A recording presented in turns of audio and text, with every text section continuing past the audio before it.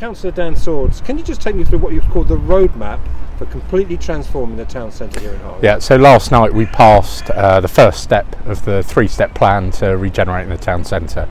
And what I described that is, is a one way roadmap to regeneration because for far too long, uh, regeneration of the town centre has been proposed and plans have been drawn up and millions of pounds have been spent on consultants and, and so on. But as everyone in this town knows nothing has happened.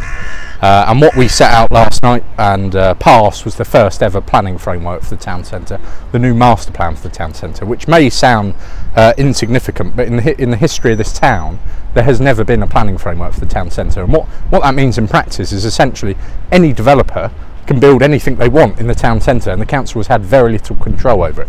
It's long been used as an excuse as to why the council can't do anything because we don't own the land. Well, we've we've we've smashed that excuse. That no longer exists. Uh, and what our three-step plan sets out is that uh, by the autumn of this year, uh, there will be a fully new design town centre, and this time next year we will be under construction. So it is very much a, a one-way roadmap to uh, regeneration, there is there is no going back. There's no more dither and delay. It's finally going to happen. The town centre is finally going to be rebuilt. Because you will be judged by this, won't you? Of all the things, etc., that you you know, we had a three-hour meeting last night, but it's the town centre. Are you confident that you can transform this? I, th- I think you, have hit the nail on the head. The most important thing is to judge someone in their actions and not their words. And uh, as I said, for many many years, it's been promised, it's been it's been planned, but nothing has happened. If we stand on this spot in 12 months' time and nothing has happened, you hold me to account for that because, as I said, this is a, a one-way roadmap now. It's it's happening. Uh, construction work will be underway uh, this time next year, well underway, and uh, I, I, think we will be judged on that.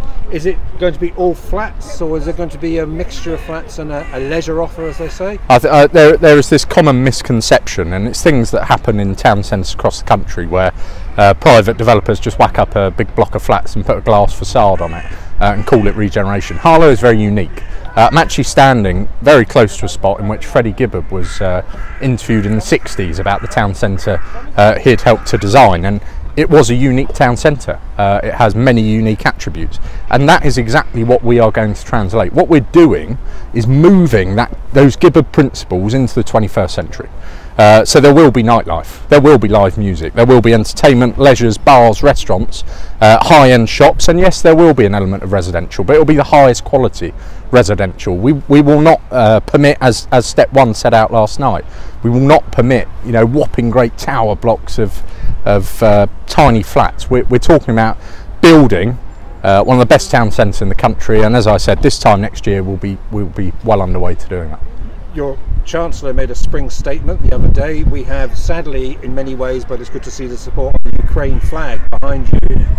How are you paying for this in these present circumstances? So, what the what the three-step plan sets out, and I I, I don't diminish uh, the task ahead. It is it is a serious task. It's been, as I said, mooted for years, but never happened.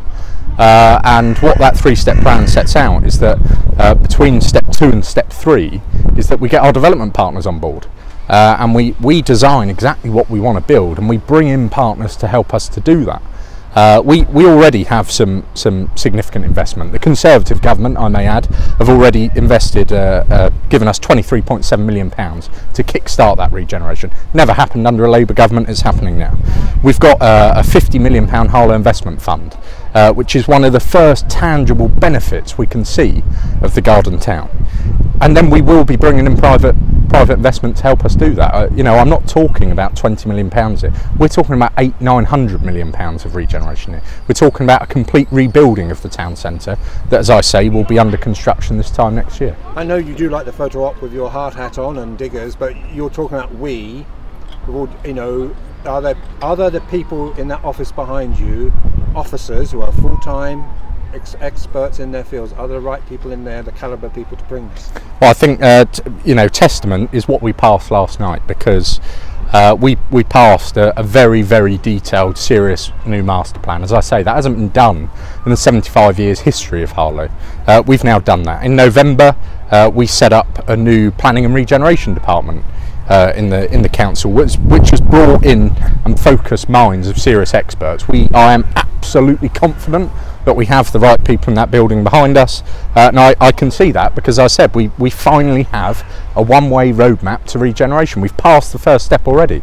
By autumn, we will have passed step two. By, by this time next year, we will be under construction rebuilding the town centre. And there was a similar agenda item talking about community engagements. You've got to because you know there'll be lots of comments underneath this story, etc. And you need to bring the community with you on this, don't you? You know, um, and how are you going to do that? Well, I think the the, the first part uh, in answer to that question is I understand uh, why people uh, don't always believe when we talk about the town centre because for many many years it's been promised. Uh, millions of pounds have been spent on consultants and nothing has happened. Uh, but th- this is now the time for real change because uh, we've passed that first step. We now have a new master plan for the town centre. That's never happened before. We've got a new planning and regeneration department in the council. That's never happened before. And, and as I said, we've, we've set out that one way roadmap. In terms of the, the community's involvement in this, Har- Harlow was built on a principle of uh, neighbourhoods and community, and every single person in this town uh, whether you know they live on their own, have a big family, run a business, it doesn't matter. Has a large stake to play in this new design. Over the, over the next six months, there will be consultation like this town has never seen it before on what people want to see in the town centre. I know uh, we need serious nightlife. I know that we need uh, high-end bars, restaurants, a live music venue, uh, and much more besides. But there are so many people uh, that have a part to play in what that new design will look like. And as I say, over the next six months, uh, we will be talking to those people, everyone in this town. Uh, and and the, the very final point I would make is I want people to have confidence that it's finally going to happen. And that I think will be the biggest driver uh, in getting people involved in this. If they can see the tangible actions from what they are describing, I think everyone will be on, on, on uh, side with our plans.